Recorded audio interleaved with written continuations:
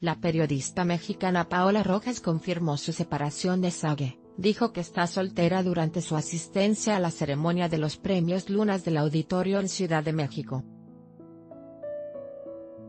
Estuvo junto al actor Arad de la Torre en la conducción del evento y dijo, ya estoy libre en el mercado.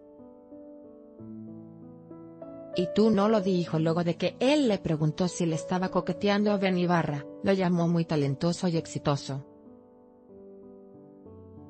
Un video irremediable con ello estaría confirmada la separación de Luis Roberto Alves dos Santos Gabranic, conocido como Sage. Video.